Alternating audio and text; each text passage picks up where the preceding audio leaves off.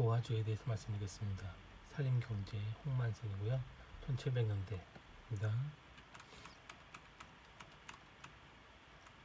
원문입니다. 네, 번역문이고요.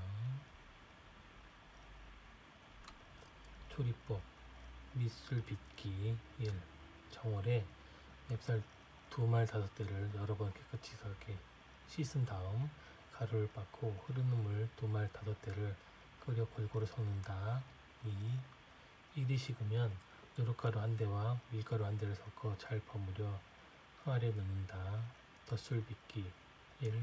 복사꽃이 한창 필 무렵이며 되면 다시 찹쌀 세 말과 맵쌀 세 말을 여러 번 깨끗이 씻는다. 2. 하룻밤 지난 뒤 밑술과 이를 합친 다음 함께 저어 흐르는 물 여섯 말을 끓여 식힌 후 섞는다. 3.